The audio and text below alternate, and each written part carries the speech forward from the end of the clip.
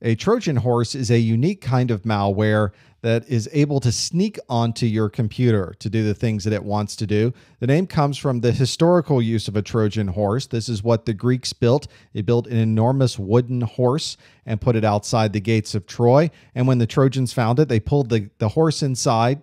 And once it was inside and night fell, the the Greeks came out of the horse and they were inside. They didn't have to now get through the gates of the city and they were able to conquer Troy just by sneaking in in this enormous wooden horse. This is the idea that we have in Trojan horses on our computers, except it's a digital type of Trojan horse.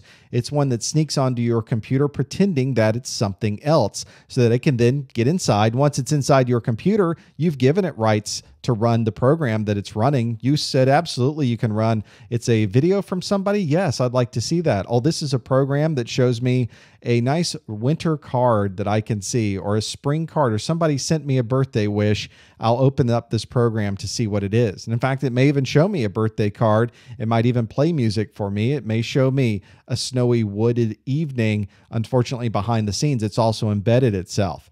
Its primary purpose is to get onto your computer, and it's not entirely concerned with replicating. This isn't a virus or a worm. Its job is to get on your computer and to fool you into allowing it into the gates. It's getting around your existing security. And as soon as it gets on your computer, you'll find one of the first things that the Trojan horses do these days is disable your antivirus. So if you happen to notice that your firewall isn't working anymore on your computer and your built in antivirus isn't working anymore, it's very, very possible that you've been infected with a Trojan horse because now it can do whatever it likes. Because your firewall is turned off, it can now open up some back doors and let other devices in. Now that your antivirus is turned off, it can download other things onto the computer that may be malicious and be able to do other things, embed keyloggers and do other other types of methods of, of infecting your computer because there's no way to stop it now. It's disabled your antivirus, it's disabled your firewall.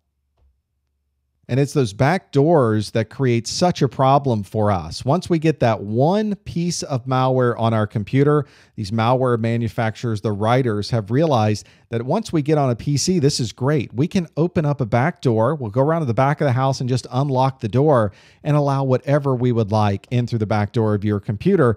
And that way, they don't have to worry about finding another vulnerability. They don't have to worry about finding a way to authenticate properly to your computer. They've already got that first step in. And now that they're inside of your computer, they'll simply open up a back door around back and then put whatever they would like on your computer add additional malware, additional spyware. And that's why whenever you find a machine that's been infected, it isn't just one thing, it's multiple things because the malware manufacturers, once they find that opening, they absolutely take advantage of that. There is some software that includes a backdoor with it. And this isn't something that is very common, but something you need to be aware of is that there was actually a Linux kernel version that somebody wrote a backdoor into. And it was one that was found very quickly thanks to open source. People were able to go through the code and say, that looks funny. Why did somebody happen to put that in there? That gives them access into anybody's Linux machine. There's also bad software. As part of the application, a manufacturer may have maybe not intentionally created a backdoor, but nonetheless found a way to have something there that they could access machines that had that software on them. And unfortunately, that is also a big problem. That's why whenever you install new software onto your computer, especially in a large environment, there's tests that you can do with that computer to make sure that it is as protected and secure after installing that software as it was before installing that software. I recently had one of my computers infected with a Trojan horse. And so I collected that Trojan horse. I put it in a, a digital mason jar and put it in the corner. I've got it running in this virtual machine. So this is not something you'll want to do on your computer. I've taken and put it into a test environment. And now what I'm going to do is run it and show it to you. And when we're done with this, I have a snapshot taken of this virtual machine. I'm going to revert back to a previous date and time, which essentially erases everything that we're about to do here so that I maintain this protected system. This Trojan horse that was found, I'm going to look at the properties of this. It's called GVT. And you notice Games for Windows Live splash screen. It's a game. Who wouldn't love to put a game on their computer? I'll absolutely run that program That sounds like a great thing. When you first run this, what you'll notice is first thing that pops up is your Windows Security Center. Your firewall is turned off your anti spyware and anti malware is turned off. And then another window pops up called XP anti spyware. Oh, what could be bad with anti spyware? But oh no, it's identified programs on my computer that are infected with spyware. Here's a worm. Here's other spyware on my computer. It's finding all kinds of infections on my computer. Now, the reality is what we're running on right now is a stock installation of Windows XP. There's no additional programs that have really been installed here. What this is telling us is absolutely fake. None of these things are real. And because it used the Trojan of pretending it was these games, now it has disabled my real firewall, disabled my real antivirus. It's created a backdoor, and now it's presenting to me this front end that's telling me that I have all kinds of viruses, macro viruses, viruses, botnets, and a lot of different things on my computer, none of which is absolutely real.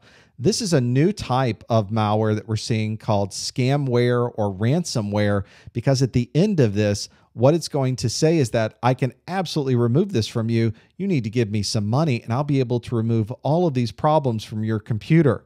But of course, none of these problems existed to begin with. This is simply scaring me into providing a third party with credit card information or providing them with money in some way, shape, or form for doing nothing but embedding malware onto my PC. There, it's now finished its scan. It says, Attention, danger. It found 26 critical system objects that were infected well, gosh, I should probably register this so I can get rid of that. Obviously, don't do this. You don't want to register this. And it pops up this very, very professional looking XP anti spyware. I can buy now. There's frequently asked questions. One year license is only $60 United States funds to be able to remove that. And look, they even have a like button for Facebook. 1 million people like them. Well, gosh, I'll like them too. Let me click that. Doesn't actually go to Facebook. That's a fake like button that's there. But doesn't it look real? Follow us, join the conversation on Facebook. It's not going to let you to Facebook to their page because their page doesn't exist. This is an absolute scam. None of this is real. All they want are 60, 70 or 80 dollars to be able to get that money. And at the end of that, it may or it may not enable or disable this particular malware on your computer because they don't care. You can't contact the company, you can't get your money back. At that point, you are infected all because that Trojan presented to you that it was something like games, and that sounded great to me. And now my computer is really infected with this malware.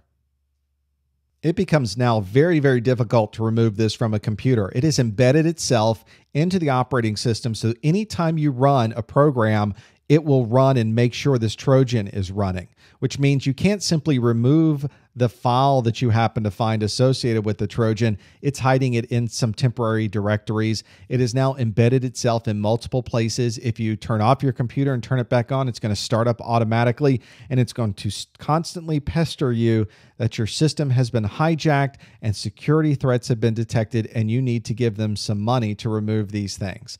Very often, what we end up doing is simply removing and taking off and backing up our personal files, our documents, and other things where malware can't be infected, securely backing those up somewhere, and then completely nuking this hard drive, erasing everything on it, and reinstalling the operating system from scratch. Very often, that is the only way that you can be 100% sure that you have absolutely removed that Trojan from your computer.